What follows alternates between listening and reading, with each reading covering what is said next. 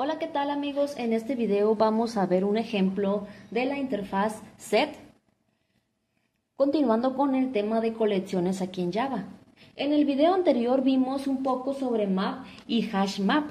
Y recordar que hash map es la implementación de la interfaz map.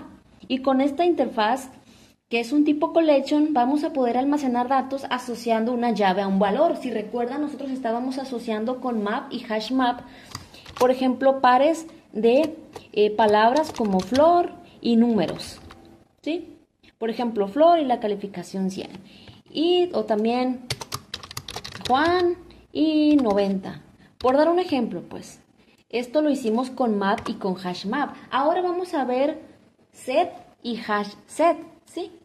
De igual manera, set es una interfaz a la cual podemos implementar de diferentes maneras y esto nos va a ayudar a que podamos obtener una funcionalidad distinta de estas colecciones, que las colecciones son grupos de, objetos. Antes de continuar, les invito a que vayan a mi canal Flortronic, aquí tengo el nombre, y a mi otro canal, el Baúl de Florcita, donde tengo eh, varios temas interesantes como este que está aquí. Entonces vamos a continuar. Vamos a hacer un ejemplo de la interfaz set y tenemos que importar a set y a hash set que pertenecen al paquete java.util. Vamos a crear un conjunto eh, de frutas, es decir, un, como se puede decir como un almacén donde almacenemos nombres de frutas y para eso vamos a utilizar a set y a hash, a hash set. Por lo cual vamos a poner set string le vamos a dar un nombre, le voy a llamar frutas y vamos a poner new. Pongo new hash porque esta es una de las implementaciones que vamos a usar.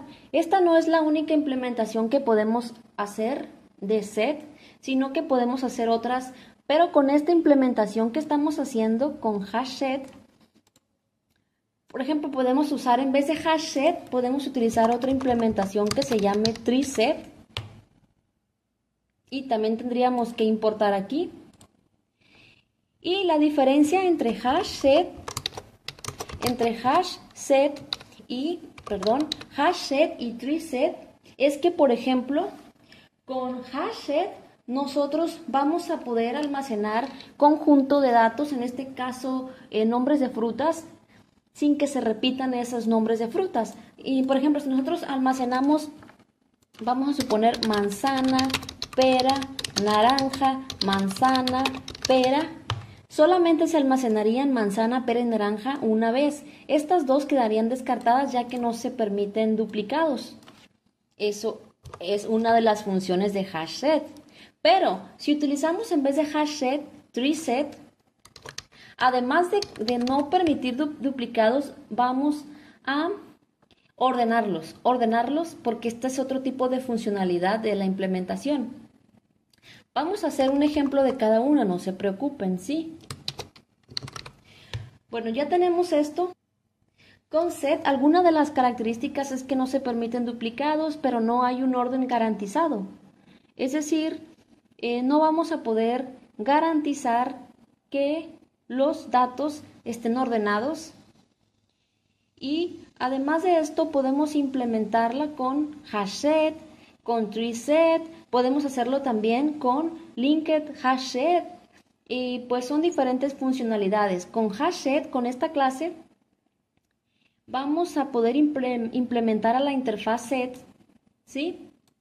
Y vamos a utilizar una tabla hash para poder almacenar los elementos, en este caso los nombres de frutas.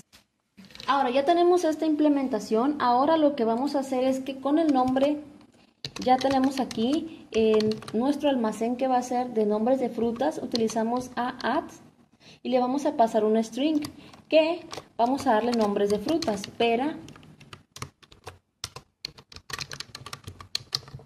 voy a poner manzana, vamos a poner, eh, ¿qué otra cosa puedo poner? En, eh, plátano, vamos a poner arándano. Vamos a poner otra vez mango. Y ya con estas. Con hash set no vamos a permitir duplicados, como por ejemplo eh, duplicados aquí tenemos manzana y tenemos pera dos veces, ¿sí? Con hashes, pero al momento de mostrarlos no vamos a garantizar el orden. Pero con TreeSet, además de que va a impedir los duplicados, nos va a ordenar esos elementos. Entonces, ya tenemos estos datos agregados, vamos a utilizar un for each para poder mostrar esos elementos.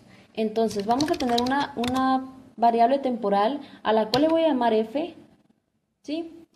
Y allí vamos a ir almacenando cada uno de esos elementos y vamos, ¿cuáles elementos? Pues los elementos de nuestro conjunto frutas, así se llama el conjunto. Cada uno de esos elementos de frutas temporalmente van a estar aquí en f, es decir, vamos a ir recorriendo ese conjunto elemento por elemento y vamos a ir añadiéndolo de, eh, manera temporal en la variable f y vamos a ir imprimiéndolo, ¿sí? Aquí f. Vamos a... Eh, luego, este resultado no va a mostrar duplicados, pero no vamos a poder garantizar que, que, no, que estén ordenados. Vamos a ejecutar esto y vemos que están los elementos no duplicados, pero no están ordenados, ¿sí? O sea, no, lo, no estamos garantizando. Vamos a añadir otro elemento y aquí vamos a poner, vamos a poner eh, frambuesa. Frambuesa y vamos a añadir, ¿qué otra cosa?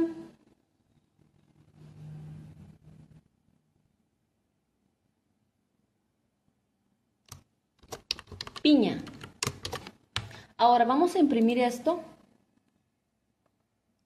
Y vemos que no está, no está el orden como quisiéramos, pero no hay duplicados. Ahora, si utilizamos la implementación en vez de hash set, utilizamos tree set, pues lo único que vamos a cambiar es esto. Y con tree set, además de que no va a haber duplicados, vamos a garantizar el orden. Van a estar ordenados de manera alfabética. Vamos a ver si eso es cierto.